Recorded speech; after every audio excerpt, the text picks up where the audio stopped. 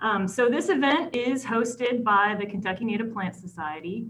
We are a nonprofit, a statewide organization that uh, focuses on preservation, protection, and conservation of native plants and natural communities.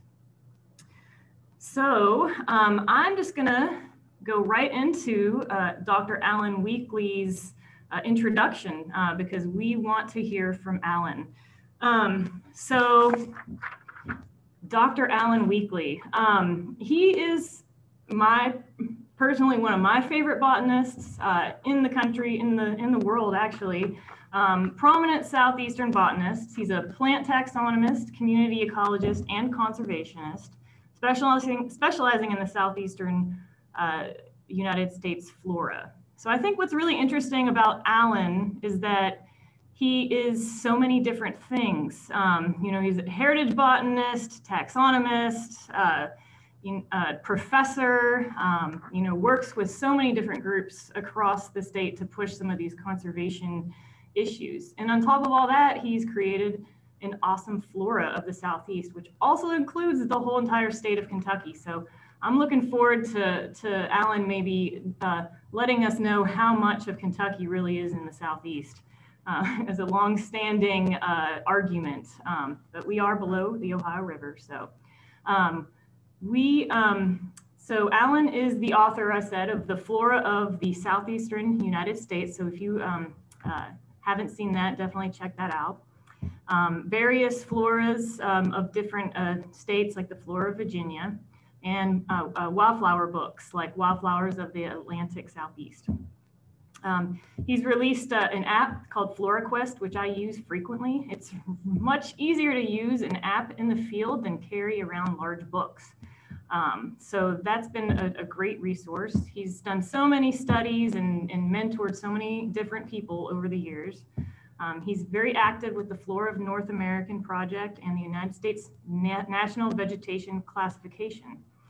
And he serves as an advisor to um, North Carolina Heritage Program and the Plant North Carolina Plant Conservation Program. So um, very similar to, to a lot of the folks um, uh, here today. Um, he's also the co-founder of the Carolina Vegetation Survey, which you know we heard about from Devin's talk, um, starting to use that CVS methodology.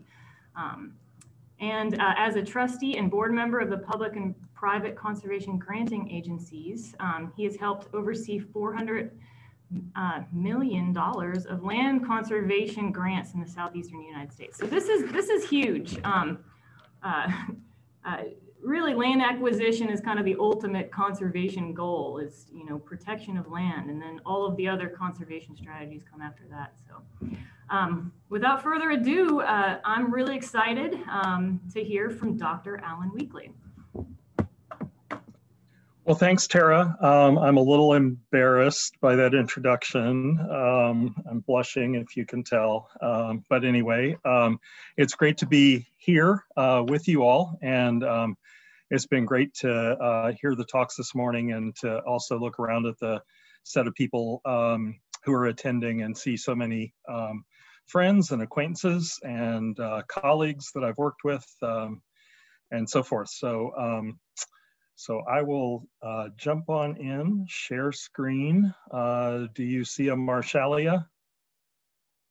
Okay, great. Okay, so um, I'm to, um, my talk is sort of roughly divided into a couple of sections. And the first, I'm to um, talk primarily about kind of the evolution um, of the of the southeastern uh, flora, um, and that has important implications for us in understanding also how to go about conservation. And I'm going to talk about uh, tools for identifying plants in the southeast, um, and um, sort of woven all through is going to be a basic conservation theme, which um, in my personal philosophy uh, is the fundamental reason why I do all this. Um, conservation is, is really the, the foundation and the bottom line. Um, so the vascular plants of the southeastern United States, um, there are about 6,900 native species, about 3,000 alien species. Uh, fortunately, only a small percentage of those are invasive and problematic. And um, interestingly, also a few hundred where we don't really know whether they're native or um, alien. Um, um, so that, that's a kind of an interesting set. But when we look at the southeastern United States, we see um, really high species diversity. This is a map from the from the BONAP uh, project um, showing areas of, of high species diversity. You can see these sort of um, scattered areas around the southeast, including parts of Kentucky, and also, of course, uh, California, the Sierra Nevadas, and um, and the coastal areas. When we jump up a taxonomic rank to the genus level, the, the map looks quite similar. But when we jump up one further rank to the family level, the map changes pretty substantially. And um, we see that, that the, the diversity at this um, higher taxonomic level is really heavily weighted towards uh, the Southeastern United States. And why is that? It's, uh, it's a really interesting thing uh, that, that um, California beats us on species diversity, but we beat California on family diversity. What's going on there? So it's related to ancient lineages and resilience through deep time. If we look at plant narrow endemics, California, um, the Appalachians, uh, parts of the coastal plain, if we look at tree diversity, uh, you always hear this stuff about the Smokies having such great tree diversity, but uh, nobody talks about the red hills of Alabama. Um, it's just not fair. Um, if we look at the group of plants called the paleodicots, that's like magnolias and water lilies and Saururus, um, lizard's tail, things like that. Um, the Southeast is also really, really rich. And this also has to do with its ancient status as a, as a relict area holding uh, temperate biodiversity, a major center of temperate biodiversity native grasses, you think, oh, that's going to be out in the Great Plains where all the diversity is. But no, the Southeast is also rich, including uh, parts of Kentucky. And I hope, I know it's the Native Plant Society, but I hope you'll let me slip a few, um, a few animals in here as well. If we look at amphibian diversity or reptile diversity or fish diversity, we also see that the Southeast is where it's at and karst, uh, as you all well know in Kentucky, uh, karst diversity, the Southeast is also really rich in, in diversity of, of underground organisms, cave and, and underground aquifer organisms. So when you sort of put this all together, uh, uh, as NatureServe has done into a map of biodiversity importance, um, the Southeast uh, is really um, a highlighted area. Um, but I also want you to notice that it's not evenly distributed around the Southeast. It's very patchy, and every one of these little patches has its own distinct uh, richness of biodiversity that's different from the other patches. So the Edwards Plateau or the Florida Panhandle um, or the Kentucky Bluegrass or the Southern Blue Ridge, all these have their own independent um, um, biodiversity. So how has the Southeast developed and retained this biodiversity? I guess I'm going to suggest that it is edaphic diversity, that is geology and soils, times climate diversity, uh, particularly rainfall and temperature, times fire uh, regime diversity, and then times time, both uh, really deep time of hundreds of millions of years and also more recent time of uh, the time since the last ice age. And so, you know, maybe sometimes we think of the Southeast as kind of mostly looking like this. Kind of boring, really. Lots of different trees, not a lot of herbs. Uh, you know, it's a nice forest to take a hike through, but sort of where is that biodiversity? Well, a lot of the biodiversity in the South is in the is in the small patch communities, the specialized communities that that uh, harbor a lot of these relics.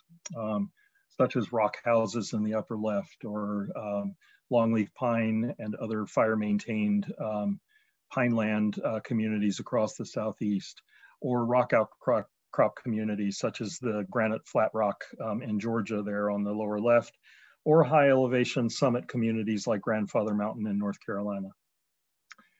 And so we can kind of describe the, that uh, the, the underlying diversity of that supports that biodiversity, that has created that biodiversity in the old fashioned earth, air, fire, water uh, kind of paradigm. but we also have to add in kind of the crazy clock of time um, that, that has, um, has sort of altered and shifted all of this in really critical ways. So it's not that the Southeast is static. The change in the Southeast is both, it's a, uh, how do we, how do we put it? It's both a, uh, it's not just a bug, it's also a feature. Um, and so if we look at the, the diversity of uh, physiographic provinces in the Southeast, uh, we have, have a lot of physiographic provinces. If we look at geology, such as this uh, map of Alabama, uh, we have tremendous uh, diversity in the coastal plain, but then also in Piedmont, Blue Ridge, and the sedimentary rock provinces that predominate in um, Kentucky. And we have a fair bit of elevational diversity, not like out in the West, but a fair bit, enough to matter.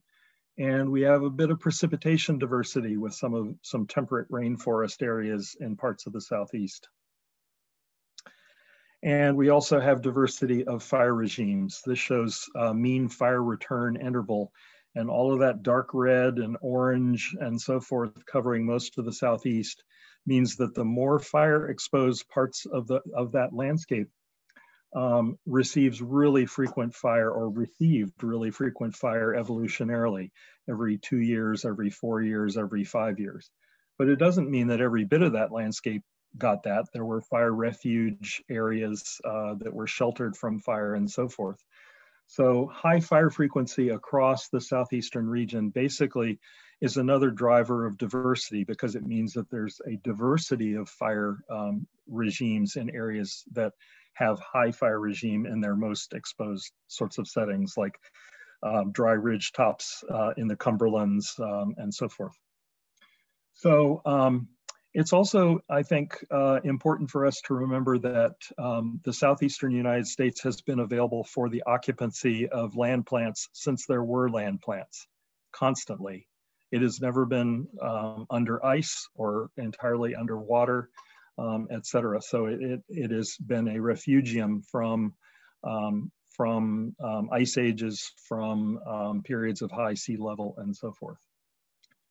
And this is an artist's rendition of Archaeanthus. And I think many of you all um, will be able to recognize what this might be related to.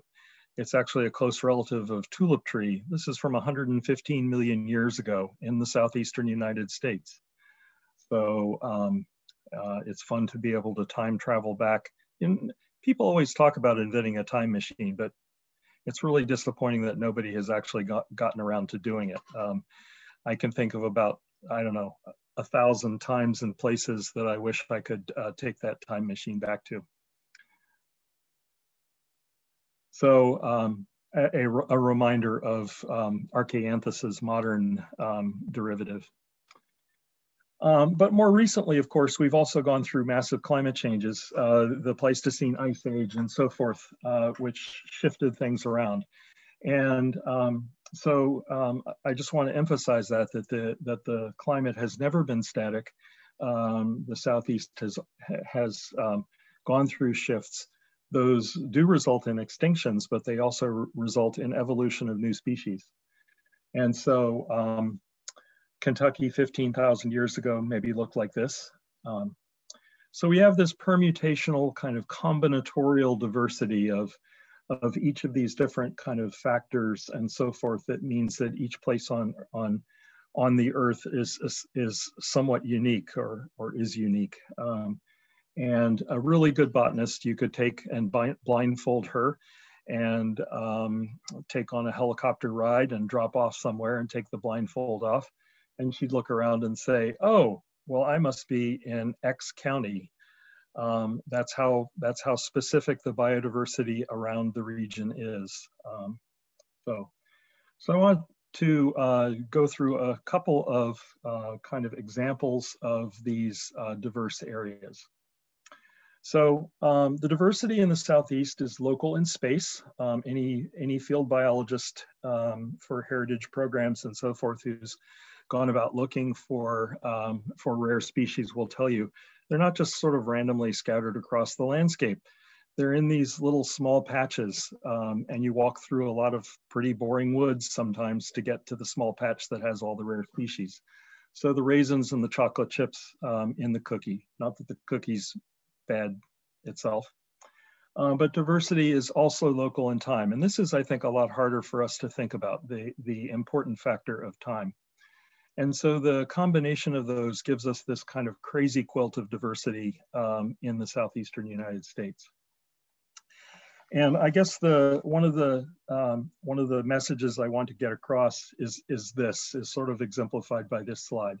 So the red areas are really high areas of endemism, the orange kind of next highest and uh, to the two shades of yellow. And Kentucky is in here and it has a good bit of that, um, that uh, endemism and so forth. And um, as we have gone through climate changes in the past, where cold and moister climates have pushed down from the south, such as during Pleistocene glaciation, or when warm and dry conditions have pushed in from the west, or when um, more tropical conditions have pushed in from the south. They move in and then they move back out. They, the climate changes again back to um, sort of our more um, standard climate of uh, where we are on the earth.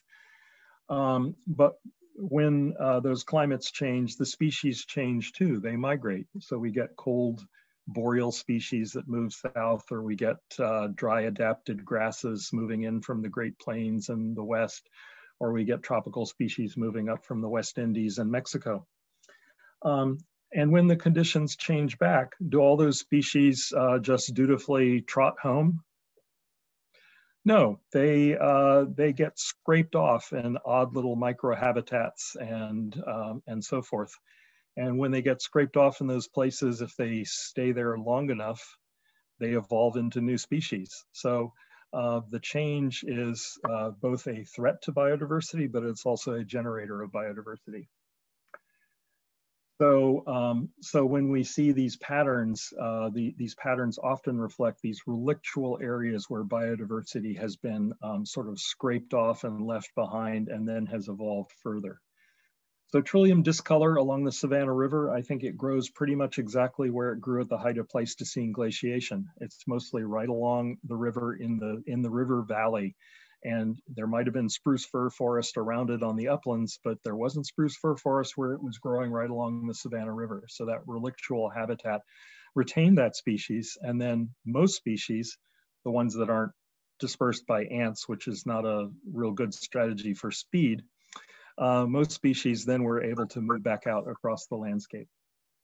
So I'm going to give you a couple of examples. Uh, one is high elevation rocky summit habitats um, in uh, Virginia, North Carolina, Tennessee, Georgia, um, and some of the endemic species we have there, like Geum radiatum, the mountain avens. Well, this is the kind of habitat it grows in, and um, this is what Tara would be doing if she was in North Carolina. Um, but um, this is the distribution of the species. It grows only on, on about 15 different mountaintops. And it's sibling to two species, uh, Geum peckii, that's up in the White Mountains of New Hampshire and in Nova Scotia, and Geum calthifolium in uh, British Columbia, Alaska, out the Aleutians to Sakhalin and northern Japan. This is actually a picture of Geum calthifolium in Hokkaido in Japan. And so these are sibling species, close relatives, but Geum radiatum having been left behind here in the Southern Appalachians has evolved into its own species. Trichophorum cespitosum, the deer hair, uh, likewise um, growing almost always with uh, Geum radiatum, but it hasn't speciated. It's related to uh, uh common uh, populations um, all through Canada, so a very common species that is um, just disjunct down to the Southern Appalachians. Houstonia montana. Now this one um, occurs, is even rarer than the other two um, and occurs on even fewer mountaintops, has this uh, sort of bushy habit and brighter pink uh, flowers than its sibling Houstonia purpurea, a common southeastern species. So when we look at the uh, some of the rare species in these high elevation outcrops, they have this um, strong signal of both new endemics and old endemics and unspeciated disjuncts like the trichophorum. that are recruited from very old circumboreal lineages, kind of um, things that you, genera that you would find in, um, in the Arctic of Canada or Sweden or Russia or England, uh, rhododendron, Sibbaldia, Geum, etc. Um, there's some really strong Asian affinities, and that's related to uh, the connection of North America, the closer connection of North America to Asia than to Europe. But there are also young species of warm temperate or even tropical uh, kind of lineages that are, have been long separated from Eurasia, Houstonia, Kalmia, etc. So um, it's not surprising uh, the boreal aspect when you think that not that many tens of thousands of years ago, the high mountains of North Carolina and Virginia um, had tundra and um, had many of these northern species. So a second example, serpentine barrens. These occur in Western North Carolina um, and, and a situation where uh, topographic situation and elevation situation where you would expect to have cove forest or montane oak forests with white oak and northern red oak and so forth. What you have instead is this.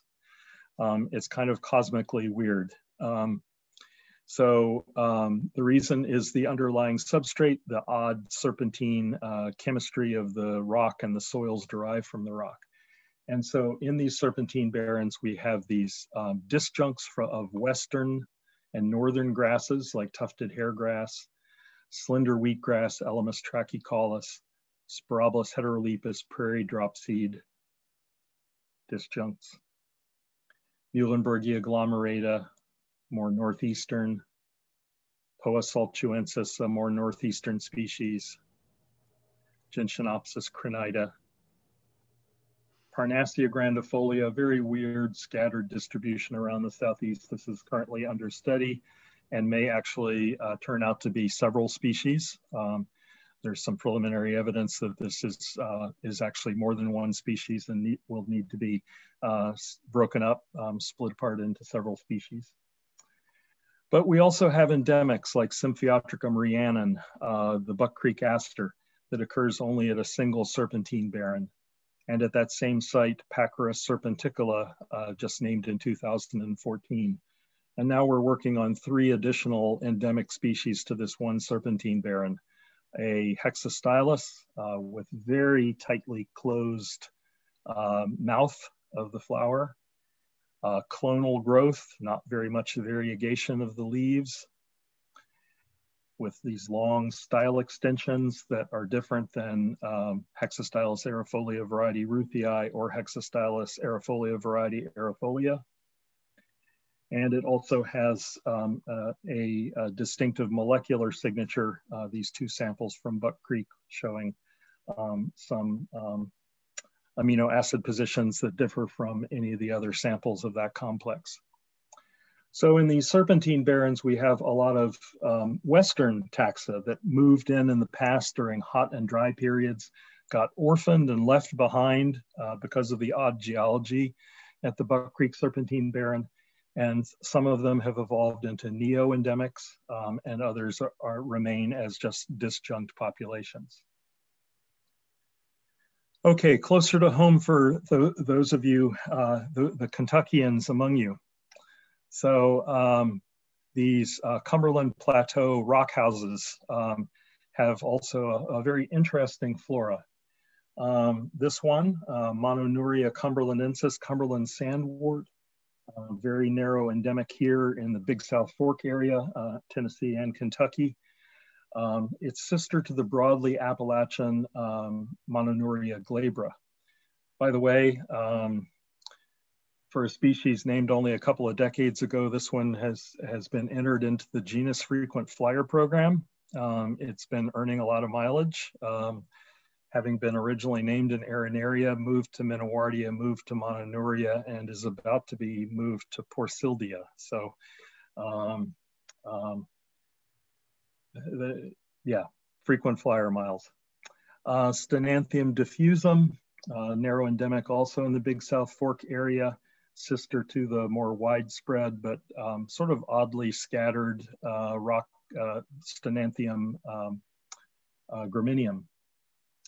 The Silenes, uh, Tony Romano mentioned one of these. Um, So uh, the rock house catchfly, Silene rotundifolia, um, mostly restricted to these rock house kind of communities, not entirely so.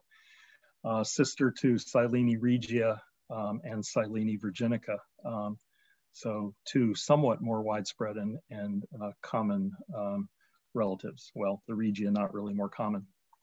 And then uh, Heuchera parviflora, uh, this gets into um, sort of new taxonomic research and also using uh, traditional and new methods like uh, molecular techniques. So Ryan Folk uh, studied this a few years ago and what had been considered to be a single species widespread from North Carolina out to the Ozarks, um, he split into three species, one with two varieties. And in Kentucky, you all have Heuchera parviflora, variety parviflora, and also Heuchera missouriensis. So Missouriensis here is with the triangles, Southern Indiana and Illinois, and, um, and this area of Kentucky. And then we have Heuchera parviflora, variety parviflora, um, more widespread through the Cumberland Plateau area, but then disjunct over into North Carolina, a separate variety um, endemic to the Piedmont and a separate species out in the Ozarks. Geography is destiny when when plants or animals get stranded somewhere, they change and they evolve and uh, become new species. Another critter, sorry, I can't resist uh, letting them in as well. Um, but I want to make a particular point about this. If we look at the distribution of Heuchera parviflora, Cumberland Plateau here, and then disjunct over into the Blue Ridge Escarpment along the North Carolina, South Carolina, Georgia tricorner, and the distribution of the green salamander, Aneides aeneus, Cumberland Plateau, disjunct over into that same area. Um, it should give us pause. It should make us think a little bit. Why would a salamander and a, and a saxifrage or a, a cragjangle, uh, an alum root, have the same distribution? Well, that's telling us something. That's telling us that uh, there's a similarity of habitat, but also a similarity of evolutionary history um, there. And so um, the green salamander is actually um, in, the, in the process of being split up into multiple um, species. This paper came out just a couple of years ago, well, last year, 2019, which separated uh, the hickory nut gorge salamander. Uh, the botanists among us uh, will appreciate the name Aneides caryaensis um, as a new endemic. And it, it, is, uh, it is this uh, branch in the molecular uh, tree. And there are three other major clades, um, a southern Cumberland, a northern Cumberland, and an escarpment clade. And so as the authors wrote, Aneides aeneus has been petitioned for listing under the Endangered Species Act and our study highlights the need for conservation management of this complex. Our formal recognition of the extent of uh, genetic and evolutionary diversification of the complex is a critical step in establishing conservation strategies. In these rock houses, we also have things like Huperzia porophila, sibling to the circumboreal Huperzia selago complex, and then we have the filmy ferns. What's with the damn filmy ferns? Why do we have tropical ferns in Kentucky? There's something wrong here. So uh, Vandenboschia Didymoglossum petersii doesn't make it to Kentucky. Um, Hymenophyllum taylorii, somebody needs to find that. Um, a lot of these filmy ferns are mainly found by bryologists because they, they look a lot like uh, like liverworts and mosses and, and grow in the same kinds of habitats. And uh, intricatum grotto felt. So um, these filmy ferns, um, these three, uh, four species of filmy fern are in very different lineages of filmy fern that have been separate for um, over 100 million years. Now we don't really know when they arrived in, uh, in the Southern Appalachians and when they speciated there, uh, but they appear to be old tropical relics. And then we have things like uh, the lampshade spider, um, East Asia, Eastern North America, and Northwestern North America. That's a pattern that we see over and over and over again.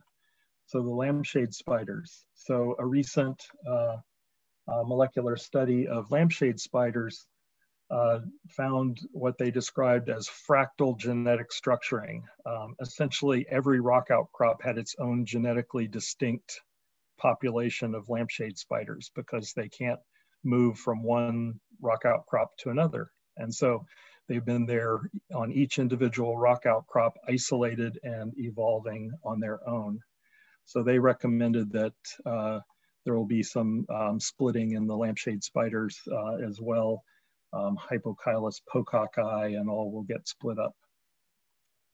So these rock houses, they have these ancient tropical lineages of ferns. They have northern cryophylls, cold adapted things, um, spiders and club mosses and all, um, warm temperate recent derivatives. Um, and I think all this is because they are so buffered from extremes. They, they basically have this kind of near constant climate where they don't really freeze, they don't really get very hot, they stay constantly moist, um, and the moisture further buffers the temperature.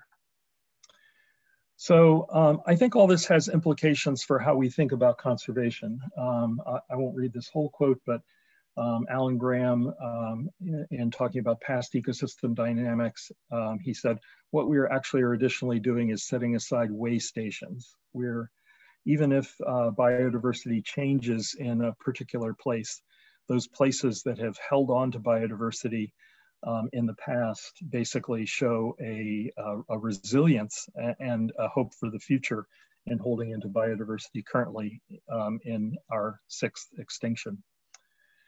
So, um, so we have areas like the Florida Panhandle sticky spot. Um, so here we have uh, the Apalachicola River bluffs with things like Taxus and Torreya, sort of ancient circumboreal lineages. We have the Apalachicola National Forest savannas with all these uh, tropical and subtropical uh, related taxa that have um, been retained there. We have this area in Washington and Bay counties with uh, all these are different habitats, moist bluffs, um, saturated savannas. These are uh, mainly sandhills, dry, really dry habitats, and also um, seasonally uh, flooded um, um, lime sink ponds. And yet they're all jammed in together here. So this suggests that this part of the panhandle of Florida is this ancient relictual area that has been able to hold on to lots of different kinds of biodiversity through time and through change if we if we want to bet where uh, we're going to be able to conserve biodiversity into the future, it helps to pay attention to where biodiversity has been conserved in the past. So um, I'm at an age where um, I get um, mailings from my 401k and so forth, and they always have this sort of phrase, past performance is not an indicator of future results you know, just because this stock uh, or this mutual fund gained 20% last year doesn't mean it's going to gain 20% next year. Um, but I'd like to suggest that in biodiversity conservation, past performance is an indicator of future results um, because it shows where, uh, where the landscape has a kind of resilience because of um, its ability to withstand climate change and retain um, and generate new biodiversity. Um, and I'll close this section of the talk with this quote from uh, Charles Darwin. There is a grandeur in this view of life with its several powers, having been originally breathed into a few forms or into one, and that whilst this uh, planet has gone cycling on according to the fixed law of gravity, from so simple a beginning, endless forms, most beautiful and most wonderful, have been and are being evolved. So I'm going to move into the second section of my talk, which is um, really about kind of um, um, floras and describing new new diversity and and so forth. And I'm going to start with the idea that you can't conserve what you don't know about, or if you manage to conserve what you don't know about, uh, you did it by accident. And uh, we can't really, we don't really want to leave uh, conservation uh, to accident. Um, and so taxonomic science is um, a foundation for conservation. And, um, and we've been able to persuade um, funders at, at, UNC that, of that uh, to, to fund taxonomic science because of its importance for conservation. Um, and so uh, in the talks this morning, we talked about uh, species as conservation targets and also communities. And uh, that sort of fine filter, coarse filter uh, uh, dual approach, I think gives us the best opportunity to identify the most important conservation areas and work to conserve them. Um, so, um, so species are drivers of conservation action, where rare species are and so forth. And um, I think it's important in conservation that we avoid both type one or type two errors. I don't, uh, many of you probably know that language, some of you maybe don't, but but a uh, you know uh, a type one versus a type two error, uh, uh, the type one error, do I remember which is which? Anyway, it's um, if um, if we think something is really rare and we try to do conservation there, but it turns out that it um, wasn't a good species, you know, we've sort of wasted resources on it. Um, or if we didn't know that something existed, we, we hadn't described it, we didn't know that there was a rare species there, or we hadn't done the heritage style inventory to find that occurrence, and it gets destroyed without us even knowing about it, that's a lost opportunity. So, uh, you know, sort of wasted effort versus lost opportunity. With uh, conservation resources being as precious as they are, as limited as they are, we can't afford either. Um, and so um, a lot of what I do is oriented towards um, trying to help us not make either of those kinds of errors. Um, so um, Jenkins in 2015, based on vertebrate animals and on a few tree species, basically identified these priority areas uh, where a lot of conservation was uh, not, a, a, lot of biodiversity was not conserved. Um, and you see the same theme of uh, the West Coast, but then very broadly the Southeast um, and all. So um, if you look at plant species uh, that have been named over the last uh, decades in the Southeastern United States, um, about 500 species have been named since 1970. Um, and that's about 10% of the native flora. And I, when I tell people this, they're often kind of shocked. It's like, oh gosh, you know, we've been doing taxonomy in the, in the eastern United States for um, centuries. Uh, haven't we gotten it all figured out? Aren't we asymptoting towards the end? Don't we know everything there is to know? And um, the sort of uh, both frustrating and exciting thing is no, we don't. There's a lot of new stuff out there. There's a lot of stuff that hasn't been described. Um, and most of the new species that are getting described are um, narrow endemics. They're in heritage lingo. Um, G1, G2, G3 species. They're the highly, most highly imperiled, highly imperiled, and and and imperiled um, species. The species that uh, are, are most at risk of extinction. Um, and if we look across the southeast as a whole at the G1, G3 species um, across the region, something like 50% of the of the these most highly imperiled species have been named in the last 50 years. So you know, we got white oak right and we got uh, other things named a couple hundred years ago, but we're um, still finding a lot of these new things and getting them described. And so, no, we're not um, uh, going towards uh, being done. In fact, the number of new species being named by decade is sloping up. And part of that is due to um, new techniques like molecular uh, systematics, uh, but mainly it's um, due to biologists getting out and getting to these specialized habitats and looking with the recognition that there might be a new species there. So you can't um, find what you don't believe is there. Um, so part of it is believing.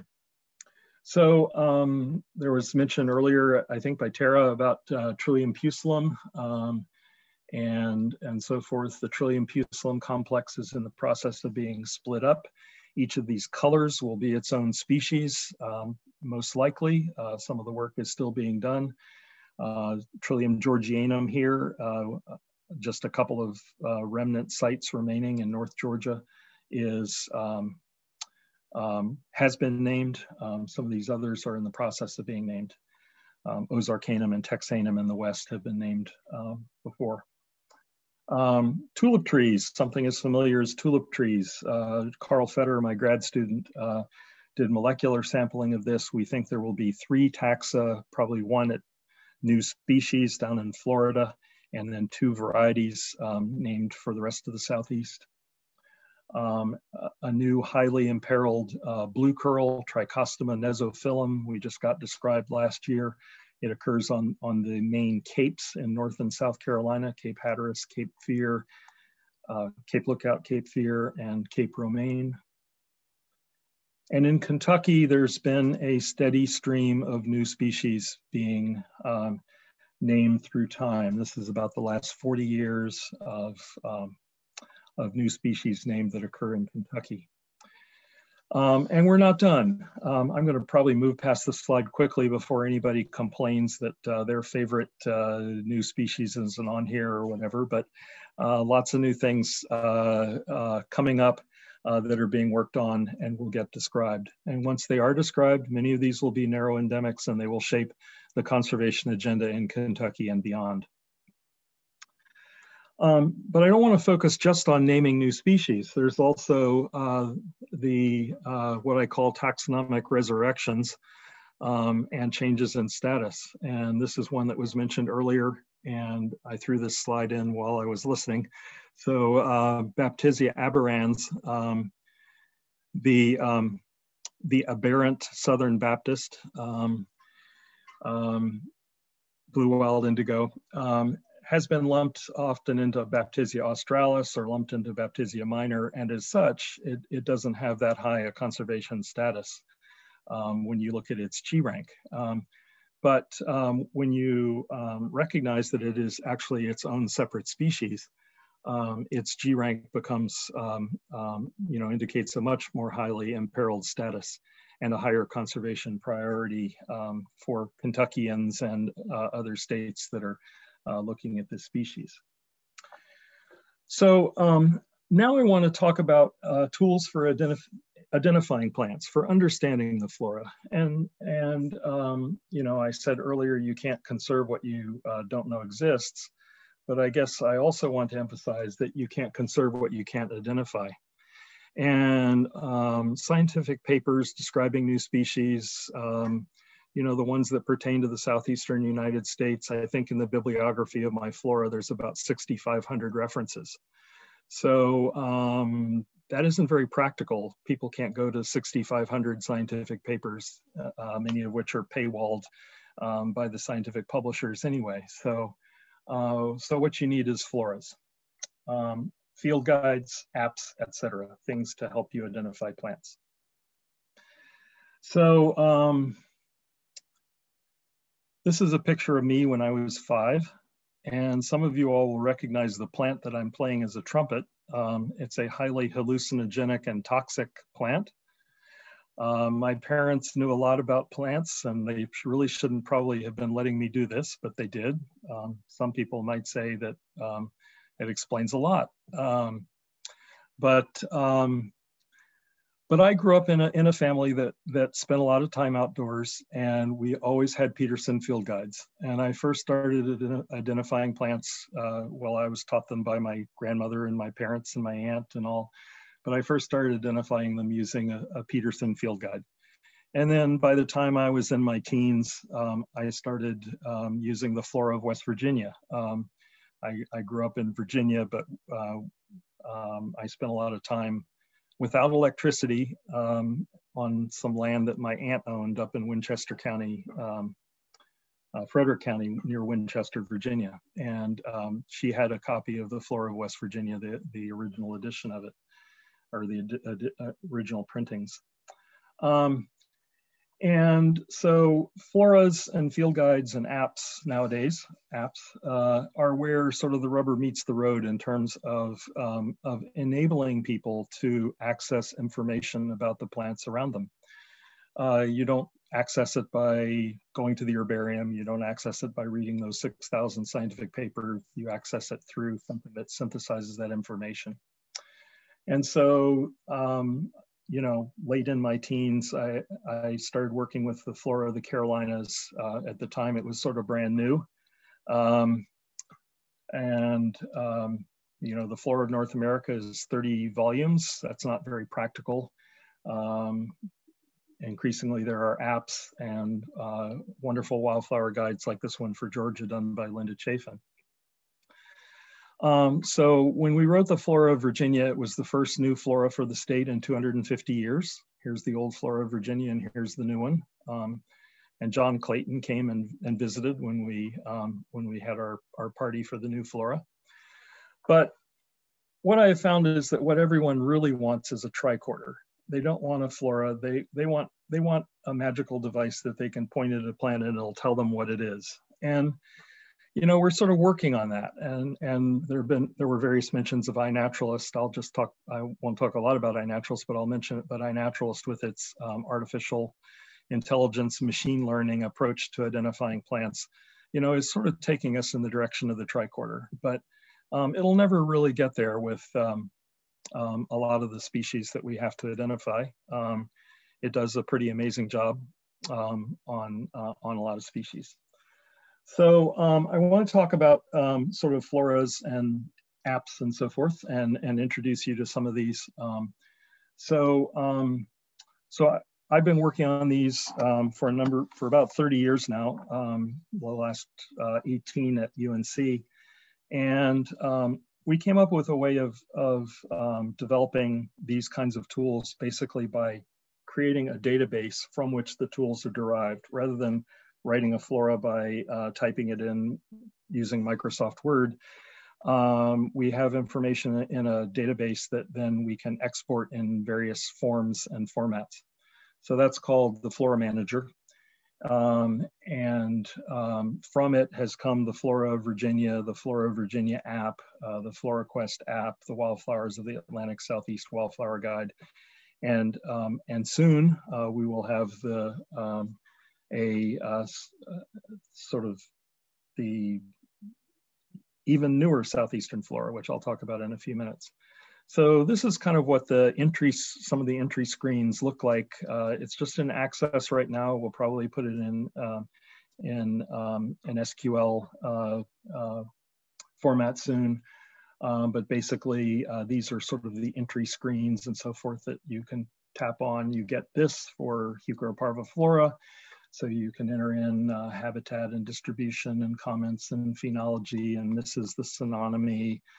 And uh, you can click here to view or edit the distribution.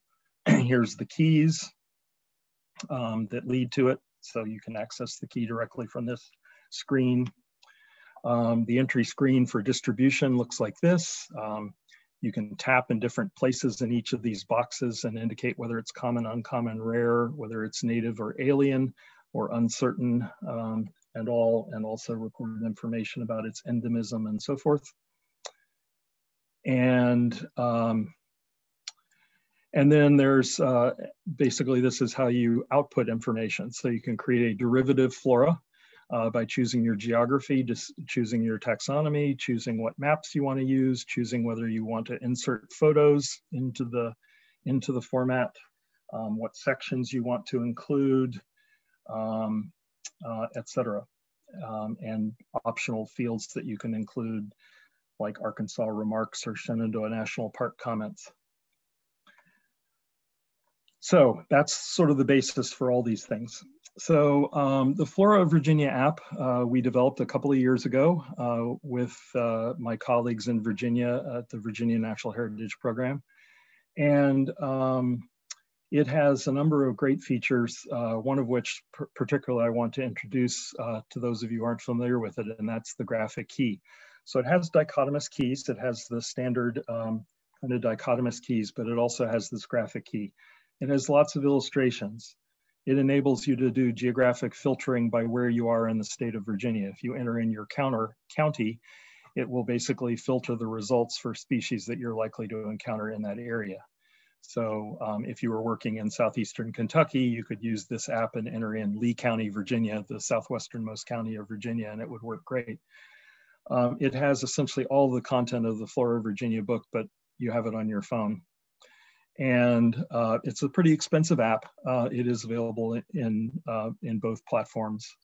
And a major upgrade is about to be result, released in the next couple of weeks. Um, and if you already have the app, it'll basically just um, um, refresh with that uh, new content. Um, so uh, the graphic key is basically um, a, um, an elaboration of an idea that first came up about 30 or 40 years ago, um, and people did it using um, punch cards and uh, holes punched in them and so forth. But it's basically a polyclave where rather than a dichotomous key where you get asked some question about some feature that you don't have, your plant is in flower and it wants to know what the fruit type is, or your plant is in fruit and it wants to know what the flower color is. Um, this kind of key basically lets you enter in whatever information you have on the plant in your hand. And each time you enter in information, it subsets uh, the possibilities. So in Virginia, uh, 3,164 species. If you enter in that it's a broad-leaved woody plant, you're down to 474 already. Almost anybody can do that, right? You don't have to have a lot of sophisticated terminology or knowledge to do it. And then if you keep on entering things like the leaves are opposite, they're simple, they're palmately veined, lobed, and toothed, you're down to 10 species. And then you can click show and it shows you um, maples and viburnums and you can uh, make a choice uh, based on the uh, possibilities. I mean, maybe if you enter in enough information, you'll get down to one species, it depends, but you may end up with a number that you have to consider. And once you've selected what you think might be right, you can look at photographs, you can look at description and habitat, uh, you can look at range map, um, you can see the breadcrumbs of how you got there, what, what uh, choices you made that uh, got you to that point. So um, a great app. Um, so we also um, decided to do a wildflower guide. We did this with Timber Press. Um, I and colleagues at the garden, it covers this area. So not Kentucky, but uh, it'll work well in, in Eastern Kentucky.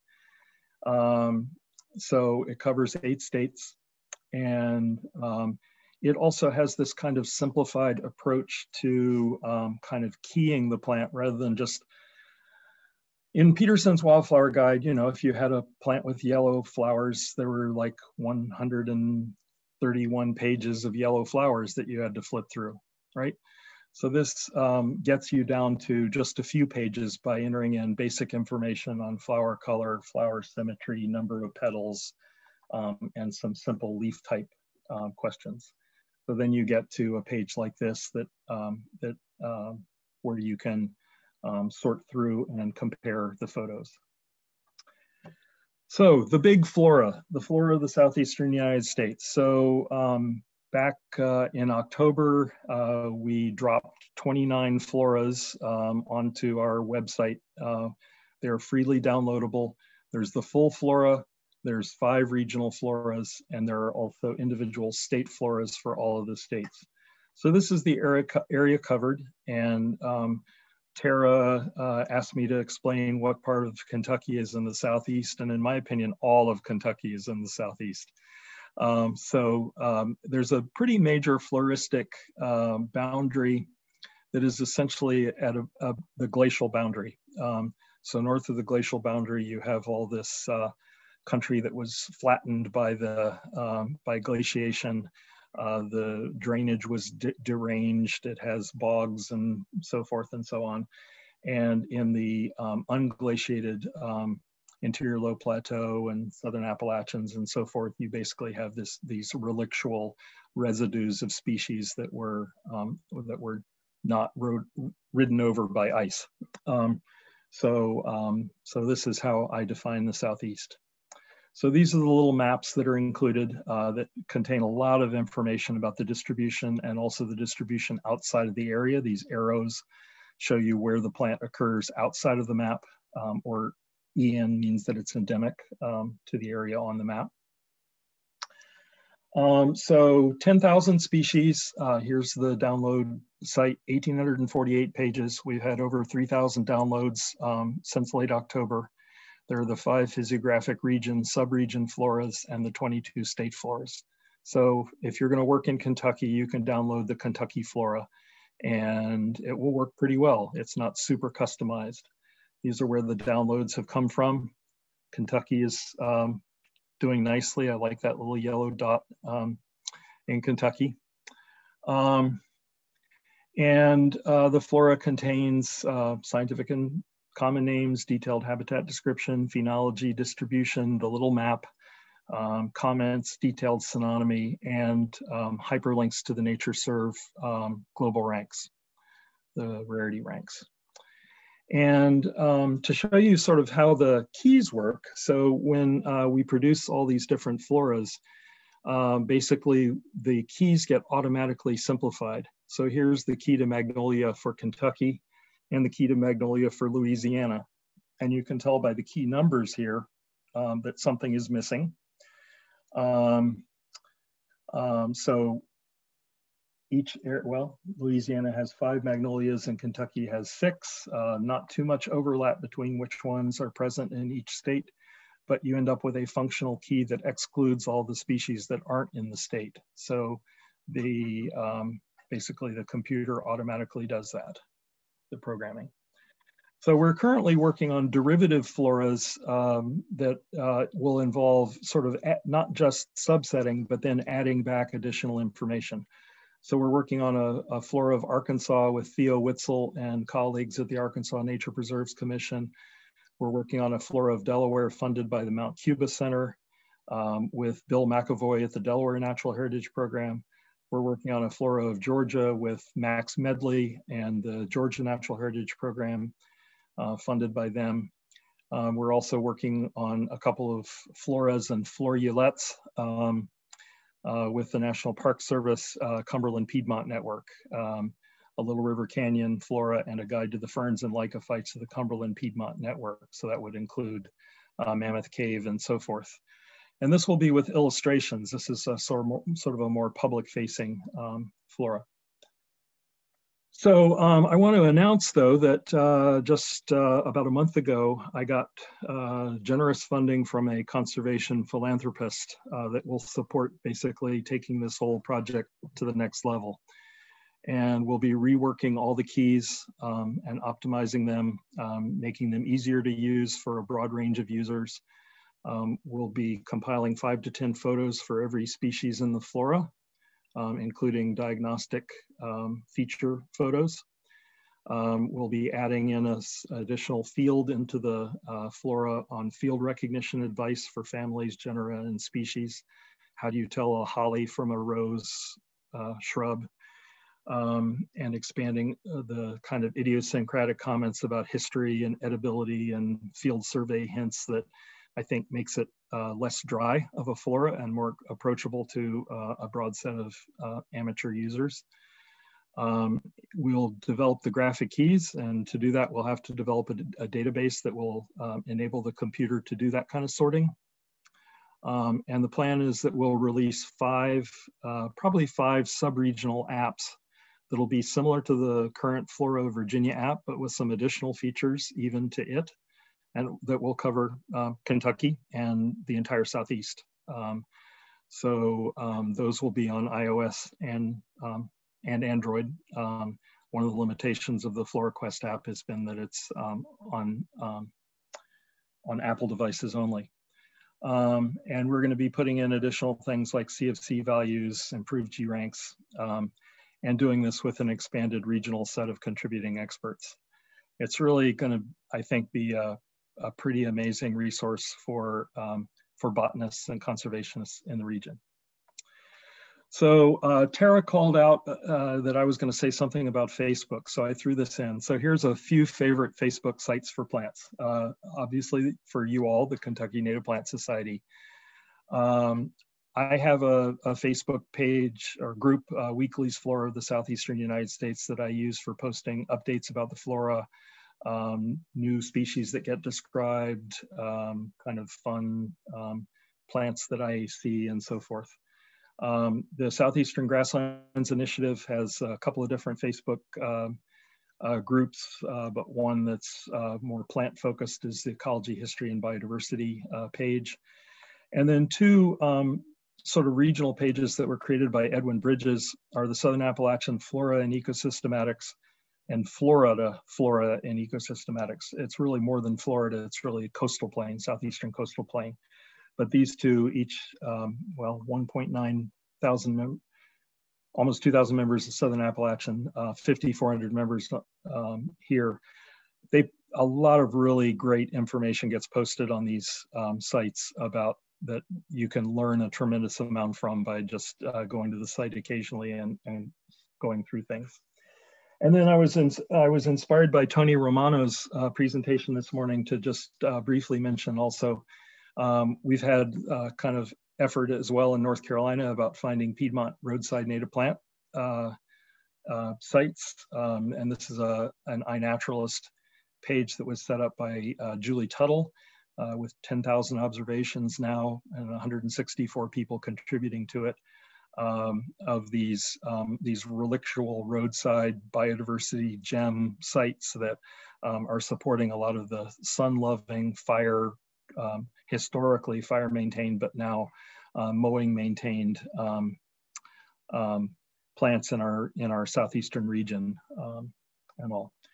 So I want to close uh, with uh, kind of a, what I hope are inspirational remarks. Um, sometimes it's easy to get discouraged in the conservation business, but uh, these are uh, Fish and Wildlife Service and North Carolina Wildlife Research, uh, uh, Resource Commission biologists searching for bog turtles on a very, very cold December day. Um, and the dedication is just amazing. Um, but we need to train um, the new generation of um, Magi botanists and Magi ecologists and Magi zoologists um, to go out there and uh, conserve the really magical flora and fauna of our region, our southeastern region.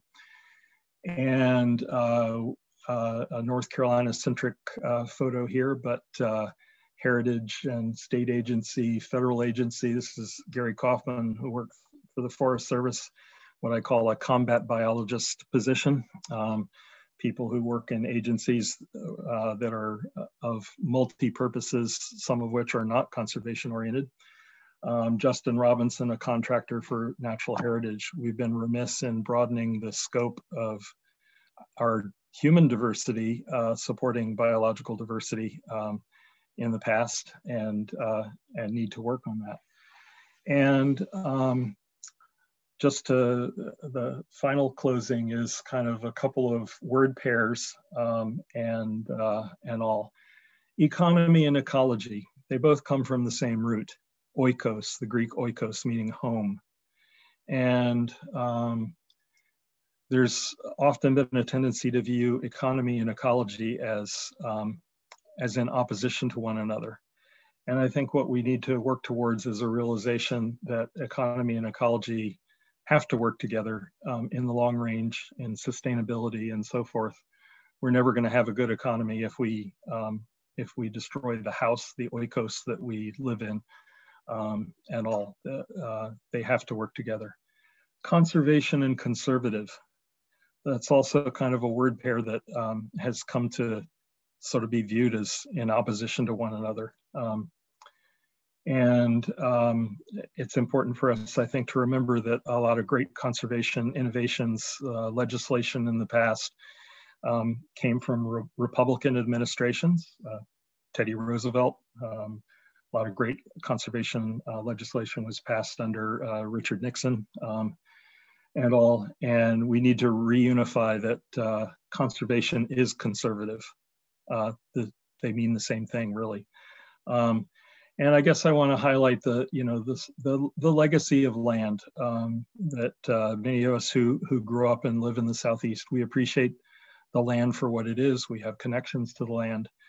Uh, the, the younger generation, less so. Um, my parents grew up on farms. Um, I grew up in the woods all the time. I spent about a month of, out of every year with no electricity um, at, at our camp up in the mountains. Um, you know, without electricity, without screens, it's almost uh, impossible for most of us to imagine nowadays. Um, but um, that connection to our natural heritage and the legacy of land is something that, um, you know, I think it is a greater challenge than ever to um, to convey to a broader set of people. And in the long run, you know, our I think our conservation agenda will only succeed if we do uh, if we do broaden um, the set of supporters and participants uh, through citizen science, through, um, through politics, through um, understanding the, the science and having access to tools for identifying and learning about uh, what's around us. Um, so I guess that's my, um, my sort of hope for the future. So curing plant blindness or uh, plant attention de deficiency, uh, building uh, botanical capacity. I've always loved this quote from Baba Dioum from the 1960s. In the end, we will conserve only what we love. We will love only what we understand, and we will understand only what we are taught. So I'll close with that.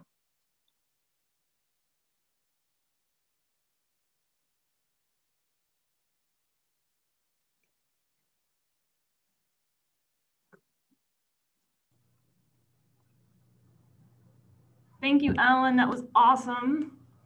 Um, there's been lots of comments and a few questions. Um, but in, I guess, let's see, we'll take just a few. We're kind of running a tiny bit over. Um, but I'll ask a few to you, Alan, and then the rest maybe during um, uh, the next talk, uh, you can uh, reply to some of these. Yeah, and I can also I can also stay. I don't know whether things are going to close sharp at the closing time, but I can stay on a little bit after. Okay, great, great. Um, yeah, there's just lots of kudos. Um, let's see, you addressed some of these already, uh, like the I, the iOS um, and the FloraQuest. You know, in 2016, the your your FloraQuest app was the reason why I, I switched from Android to iPhone, and it's just been a downward spiral ever since. Um, let's see. Uh, I'm going through. Um, uh, there has been talk of, um, you know, will there be call for photos? How are you going to incorporate some of the photos? How, how can we help as a Native Plant Society, um, you know, for Kentucky uh, information? Um, well, that's a great question. Um, the, we really just got this funding um, like a month ago, and um, I'm beginning to organize things about that. Um, we we will definitely be putting out calls for photos. Um, we've also found um, on some other projects, and, and Theo out in Arkansas has that iNaturalist is a great source of sort of prospecting for photos and then contacting people and asking for permission you know, where you can look for the sort of the right photo that shows the leaf arrangement or shows the aspect of the plant or the, the plant in fruit or some diagnostic feature. Um, but yeah, we will we will be looking for we we've compiled about fifty thousand photos of the flora of the southeast, but we're going to be looking for another fifty or hundred thousand uh, probably uh, to to add that. I think we'll also be putting all this up on a website as well as in the app, so it'll be sort of um, once again sort of uh, multi-purpose. Um, so um, I will uh, be back in touch with uh, the the Kentucky Native Plant Society folks, and uh, when we have more specific kind of uh, requests and and uh, have organized how we can receive things. So awesome.